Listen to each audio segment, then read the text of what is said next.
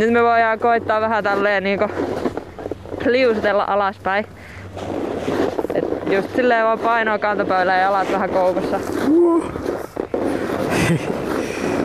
Mites jos sit mä kaadun, tai kun mä kaadun, niin onko tässä jotain jippoja, että miten pitää kaatua, että mulla ei nyt ole sitten ranteet ja jalat paketissa, kun mä tästä tonne alas lasken.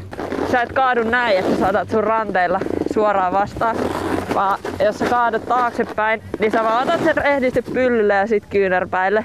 Okei. Okay. Ja sit taas jos kaatuu eteenpäin, niin polvien kautta tälleen. Aha.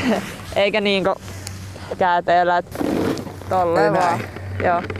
Tää meni niinku helposti, kun toi on aika hapottavaa hommaa vaan seisoskella tässä laudan päällä.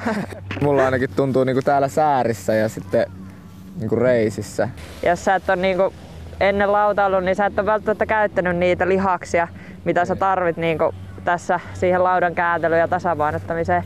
Ainut mikä siihen auttaa on vaan se, että, että sun pitää niinku vaan laskea, että sä totut siihen. Niin. Öö, eikö sulla niinku mäkihypyssä kuitenkin sä varmaan käytät tosi paljon näitä sun jalkalihaksia. Et Tuntuuko susta, että ne on niinku sama, samat alueet, mitä sä tarvit sitten tuossa No kyllä varmaan aika paljon on niitä samoja. Et sitten niinku turhaa vähän jännittää, kun on se lauta kiinni jaloissa, niin Se on kyllä ihan totta. siitä tulee sitten vähän sitä lihasväsymystä. Kai se on kokeiltava, jos täältä meinaa niinku alas tänä päivänä päästä.